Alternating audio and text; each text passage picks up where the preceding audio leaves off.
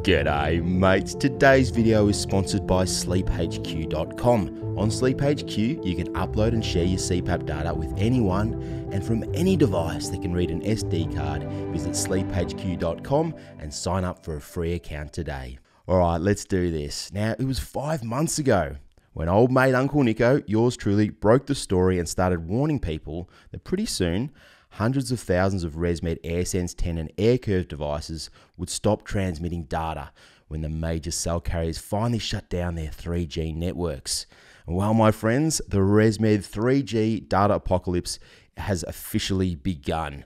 And that original video, it's blowing up as thousands of ResMed users search Google and ask Siri why their AirSense 10 is no longer transmitting data to the myAir app. What's going on?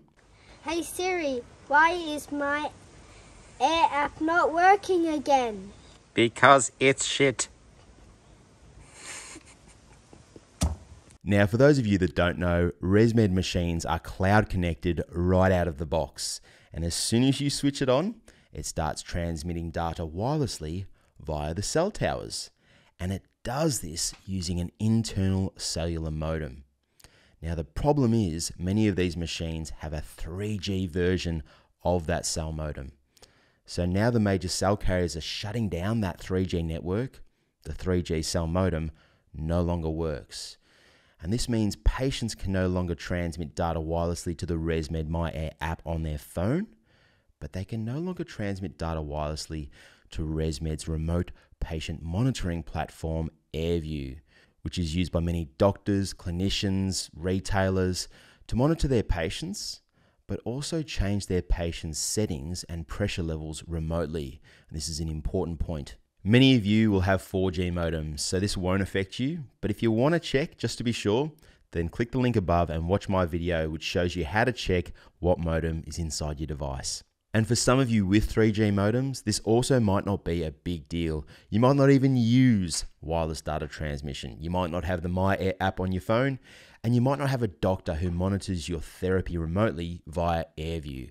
But for hundreds of thousands of users and many businesses, this is a big deal. And it's a royal pain in the ass, and one that was completely avoidable. Hear me out. There's an estimated 14 million commercial drivers in the US alone, and hundreds of thousands of these commercial drivers have sleep apnea, and they need to show CPAP compliance in order to keep their jobs. Now, this is mostly done via remote reporting, which requires, yes, you guessed it, wireless data transmission. It's virtually an automatic process that requires very little effort on behalf of the driver. With no data transmission, all of these truckies and drivers with 3G modems now have to manually report their CPAP compliance.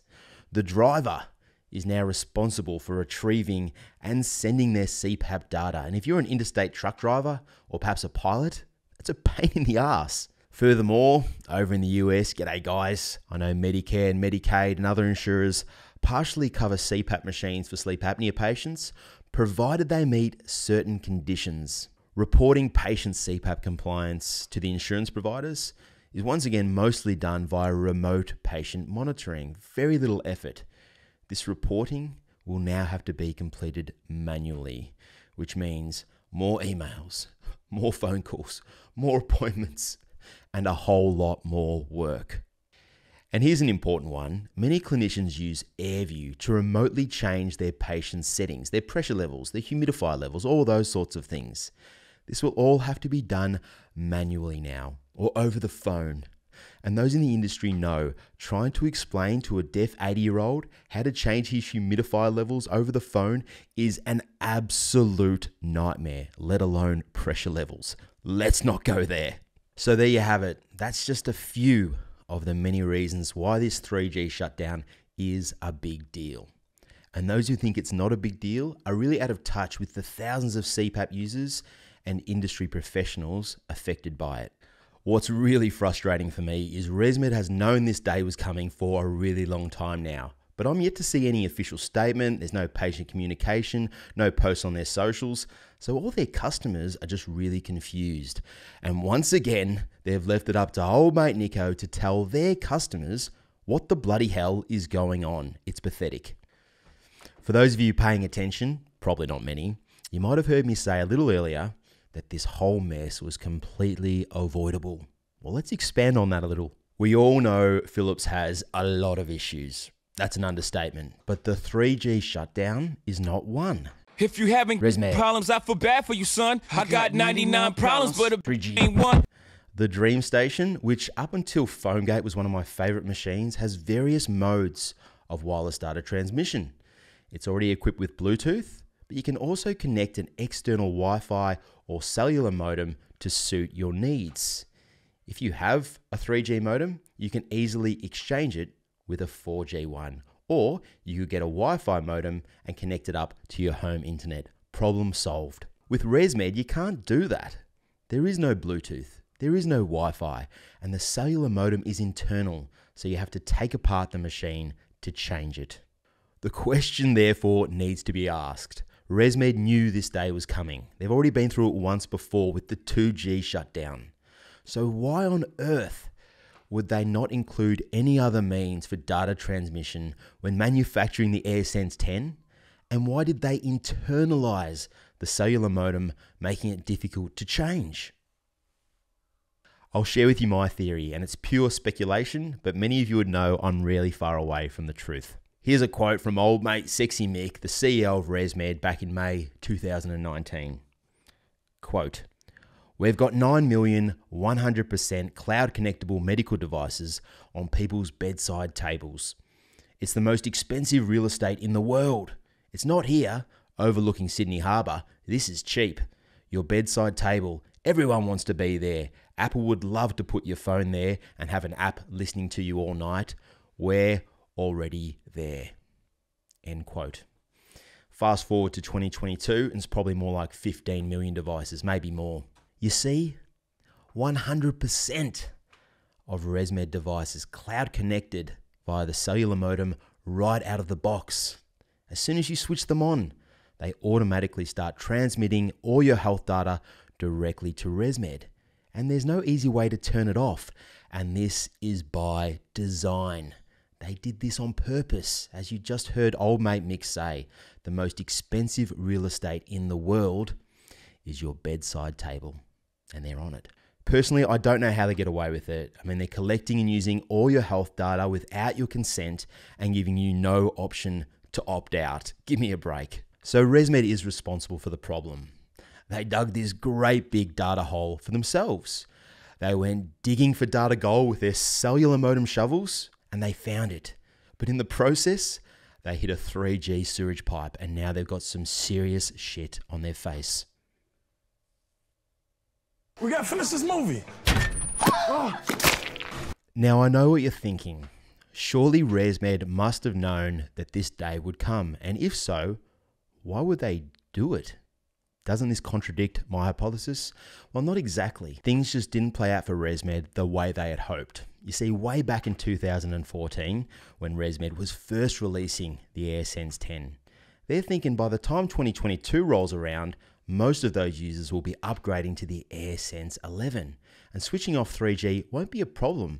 It'll be good for business. It will provide an incentive for those patients with outdated AirSense 10 machines that are no longer transmitting data to upgrade to the new AirSense 11. The plan made perfect sense. The big spanner, however, in ResMed's cellular master plan was the pandemic and the Philips recall. This has caused huge supply chain issues and also component shortages.